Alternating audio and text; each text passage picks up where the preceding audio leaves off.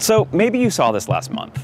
Elon Musk gave a presentation for his brain interfacing company Neuralink. I think it's gonna blow your mind. It was one of the weirder tech demos in recent memory. We're trying to get Gertrude out, and this is how you know it's a live demo. Musk was showing off progress on a device that listens in on electrical signals from the brain and could use those signals to control computers or robots. The tech itself isn't new, but Neuralink wants to make the system smaller, safer, and easier to insert. And if that goes well, the company has a host of bigger goals. Depression, addiction, strokes, brain damage, these can all be solved with an implantable uh, neural link. Okay, so this all sounds great, but is this actually possible? Smaller and more streamlined devices are one thing. That's a technology problem, and they're making headway with it. But to pull off the big sci-fi stuff, the technology has to connect with arguably the most mysterious thing in the universe, the human brain. Musk's first Neuralink demo came in July of last year. At that presentation, he unveiled a system of tiny flexible threads that would snake into a patient's brain and monitor individual neurons. He also showed off the robot surgeon that would actually implant them. Last month, we got a glimpse of an updated device. The threads now emanate from a small coin embedded directly into the skull. We also met Gertrude the pig, who was implanted with the machinery. The, the beeps you're hearing are real-time signals from the Neuralink in Gertrude's head. So whenever she snuffles around and touches something with her snout, the, that sends out neural spikes, which are detected. But hold on a second. If we want to know how big a deal Gertrude actually is, we have to talk about how neuroscience got to this point. We've known for over a century that our thoughts and moods and actions are mediated by neurons, which operate via little pulses of electrical activity. And we have the brain mapped reasonably well, so we can pin lots of movements or actions to particular areas. That's what Musk was showing off with Gertrude. She's had the implant for two months. So this is a healthy and happy pig with an implant that is two, month old, two months old and working well. The Neuralink device was in the pig's cortex, the outer layer of the brain that includes areas controlling motor function and senses. They even ran her on a treadmill to show how closely her monitored neuron activity predicted her real-world actions. You can see that they're almost exactly aligned. Neuroscientists have been recording signals from animal brains since the 1950s. They can listen to what's happening in the parts of mouse brains that remember locations, and they've tracked which neurons in the fish brain go off when they're navigating. It's pretty standard. Other researchers have gone further by actually driving machinery with intercepted brain signals. A study in 2000 taught monkeys to control a robot using a device implanted in their brains. And in 2006, a team used machine brain interfaces to let people who are paralyzed control computer cursors with their minds. There's been a ton of innovation since then, and a lot of very real potential for people with disabilities. So Gertrude made for a good press event, but didn't actually reflect a lot of new brain science. this is our little device. So far, what Neuralink is bringing to the table is a little more nitty gritty. The threads they're using to connect to the brain are an improvement over the rigid spikes used in other systems. These are tiny and flexible, so they're less likely to damage the brain. And they have more electrodes than other interfaces. That means more information being pulled out of the brain. A device that transmits wirelessly and isn't clunky will make a big difference when people actually start using it, too. Musk says the first human trials will be in patients with spinal cord injuries. And it's not hard to envision Neuralink pulling off the same kind of computer control that other research has achieved. But remember, Musk's ambitions go far past that.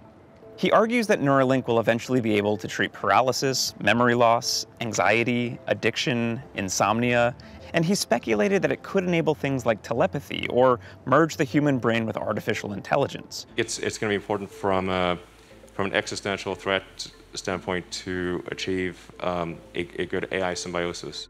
All with that one little coin, and a procedure he likened to LASIK eye surgery. Um, I mean, this is obviously sounding increasingly like a Black Mirror episode. And here's where we really have to pump the brakes. The problem with these ideas is they can't be achieved by just more electrodes or fancier interfaces alone. They're not just tech problems. Musk wants to read the brain's activity, like he demonstrated with Gertrude, but he also wants to write to it.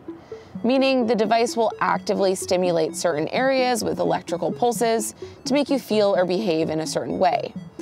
That'd probably be the idea behind treating conditions like anxiety. He was a bit short on how he's going to do that, though, which isn't that surprising because no one really knows. The neurological basis for a lot of these conditions is still hugely mysterious. Anxiety isn't as simple as the sensation you have in your hands. That we can trace all the way back to very specific clusters of neurons in the brain. Instead, anxiety is the product of tons of different brain regions working in a very specific pattern and combination. Researchers are far from even codifying that, let alone manipulating it with any level of precision. And even reading the brain gets fiendishly tricky. It took a lot of machine learning to interpret the signals necessary to move a computer cursor, and the participants' brains needed a lot of training too. Measuring complex, abstract thoughts and even merging them with AI, that again is little more than speculation. So Musk and Neuralink can't just engineer their way to success. They also have to contend with the very deliberate pace of science, which may not be going so well. Stat News recently reported that neuroscientists at the company are often pitted against the engineers and given weeks to solve problems that should take months which is a pretty good metaphor for the challenges of merging computers with biology. If Neuralink just wanted to focus on better tech systems for machine brain interfaces, that alone would be great. But they're trying to do it all, which might lead to a rude awakening for Musk. The brain is not a car and it's not a rocket. Figuring it out is going to take time. So, knowing all that, how should we feel about Elon Musk and his band of bionic pigs? One detail to keep in mind is that the presentation was essentially a recruiting event, just like the last one was. We need software engineering, we need mechanical engineering, electrical engineering, and uh, all the things that a company needs. Musk knows he doesn't have a viable product yet.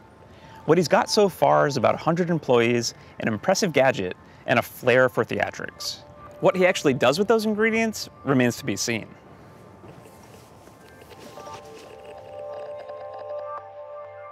Hey. Hey. What's up? So what are your thoughts? Would you do it? Um, you know, I think there's a, I'd have a lot of questions before I let Elon Musk put a computer in my brain.